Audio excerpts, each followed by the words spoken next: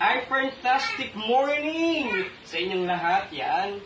Ah, nandito po tayo sa Barangay Mabalanoy sa bahay ni Ate Ningning at ni Kuya Ramil. Yan.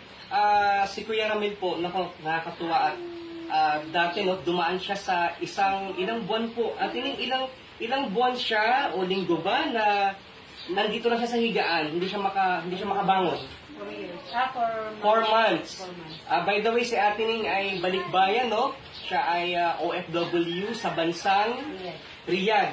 So, nung i- sa loob ng apat na buwan, pwede ba natin malaman ano pong mga buwan yun?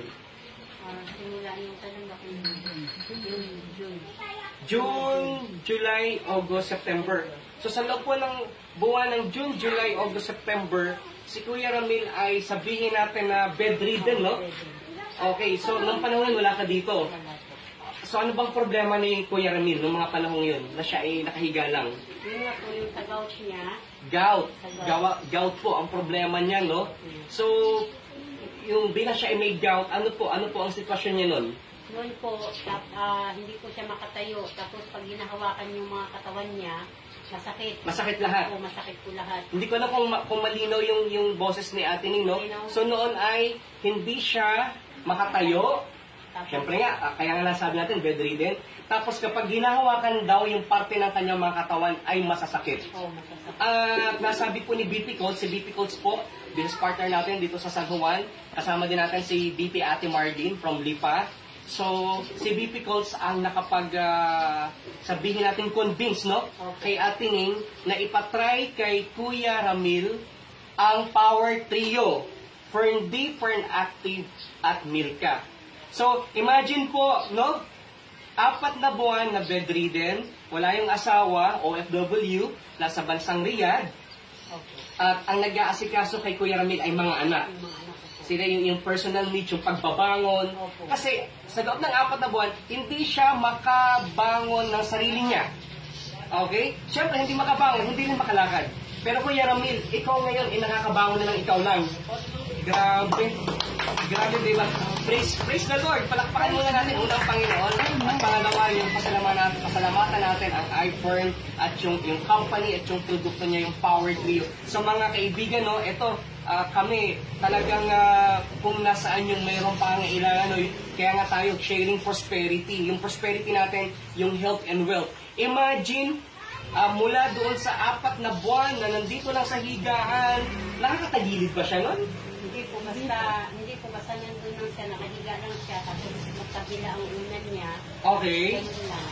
Tapos pag dumi siya, dyan lang din. Sa naka-diaper, Naka- naka-adult diaper, may magka, may una sa magkabilang tagiliran, talagang yun lang yung sumusuporta sa kanya.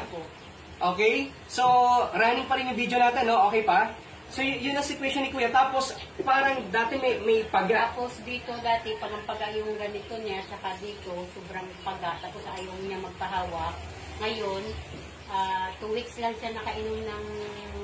Two weeks Two lang. weeks pa lang, nakakainom ng Power Trio, nabawasan yung pamamaga. Lumiit na po talaga yung... Lumiit na? Gusto niya, saka yung ganito niya, okay na. Okay na. Ngayon, pag hawakan ko siya, may mas, Kuya, may masakit? Wala. Saka nakakatulog na po siya ng... Yun ang isang may sakit na may iniindang masakit sa katawan, mahirap makatulog. Pero ngayon, si Kuya Ramil, oh, kumusta ang pagtulog mo? Okay na. Okay na okay. Pero dati ba, yung, yung sa loob ng apat na buwan nakahiga ka lang, Bali, baliktad. bali-baliktad. Tapos, ah, yung parang dumadaing siya sa sakit. Naiyak siya, umiiyak siya. Umiiyak, sumisigaw sa sakit. Sumisigaw siya sa sakit, tapos ayaw, hindi siya nakakatulog. Hindi nakakatulog kasi nga in pain. Hindi siya nakakatulog. So ngayon, kumusta yung pagtulog niya? Ayos naman. Ayos na ayos. Okay, yun yung una niyang naramdaman. At syempre, ah, yung, yung pamamaga, nawala. Okay, halos totally wala ng paga. Tapos ay, nakaka, nakakatayo na ba siya? Nakakatayo siya, pero hawak ko pa. Hawak ka pa rin. Pero malaking bagay na Malaking dating bagay. apat na buwan na nakahiga lang siya. Ngayon naka, naka, Nakakaupo na nakakaupo na. Tapos okay na po siya. Tapos pag naglalakad na dati, hindi siya nakakapunta ng CR. Ngayon nakakapunta na siya. Ngayon nakakapunta na ng CR. Al- alalay pa rin. Alalay ko siya, pero alam, ano At least hindi na siya nagda-diaper. Opo, naglalakad na siya. Naglalakad na siya na alalay. Opo. Okay, ang laki. Yung ganito. Grabe, no? Salamat talaga, salamat sa Power Trip. Of course, salamat kay Lord. Ah, kuya, Kuya Ramil, ting, ah, ano nga natin na humiga ka na ikaw lang, Humiga, humiga ka. Kaya niya na yung sarili niya. Ala, kaya niya na Oo, oo, oo. Kaya- kaya niya na. Tsaka humiga. Dati, hindi, Dati- wala. Dati po hindi. Hindi po niya kaya. Oh, Na, okay. na, na, na walang alalay. Na walang alalay. Kailangan dahan-dahan, tsaka may na kasi sobrang sakit. Oo, sobrang sakit. Katawan niya, dahan-dahan. Kuya, nung, nung humiga ka ba, may naramdaman ka sakit? Oh, salamat, salamat. Kuya, ano, last time na ha, at mag enda din tayo ng video. Kuya, pwede ba subukan mo na umupo na ikaw lang? May upo. Ang bilis. Ang bilis. Salamat sa Panginoon. Siyempre, yung unang-una, no, yung, yung mood niya, no? Kasi siyempre, lahat ng may nararamdamang sakit, unawain natin, in pain, irritable, hindi mapapagkatulog. Pero si Kuya Ramil, Saka Kuya, isa pa po, talaga. nag-iba na yung mukha niya. Dati po iba talaga yung, yung sakit, yung sakit na naramdaman niya. Nasa, Nakikita sa mukha, nagmamanifest, Pero no? ngayon iba na. Okay. Nagtitink-tink na yung mukha niya. nagpiping-ping na. Okay, so, uh, tinay mo, aalis ka kailan? Babalik ka ng Riyadh Gwen? 25 po. 25. So bilang isang OFW na nasa malayo, may iwan mo yung asawa mo na at least na panatag ng loob mo. Panatag. Okay. So power 3 ano, Fern D, Fern Active, and Milka. Maraming maraming salamat Ate Ning, no? So kami po, ibinabahagi namin itong video na to para magbigay po ng hope sa ibang mga tao. Ito, ah, ang problema nito, gout, no? Pero yung power trio, hindi lang po gout, marami pong health issues na pwedeng matulungan. So, four months na bedridden. Ngayon, two weeks lang ng Power Trio. Praise the Lord. Thank you talaga. Sa ating ning, ingat ka sa pagbabalik mo. At least, ma- yung, yung loob mo, hindi mabigat. Kasi si Kuya Ramil, Ramil kahit pa paano, hindi talaga kahit pa paano. Ang laki ng improvement na months, tapos ganyan, on his own. Saka doon, makakatulog na rin ako ng Yes! ayos Kasi nung four months nandun ka, hindi ka makatulog ng ayos. Pag, pag tuwing nasas, masakit yung katawan niya, tatawag din Oo, yung mga, bata. oo.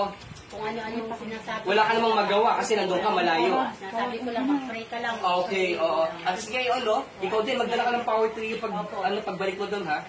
At Kuya Ramil, ano, by God's grace, tuloy-tuloy lang ang power tree, ha? Kuya, salamat, maraming salamat, and God bless you. At ining ingat sa pagbabalik. Okay, salamat, BP Trolls and BP Marlin. Thank you, I Fantastic Morning!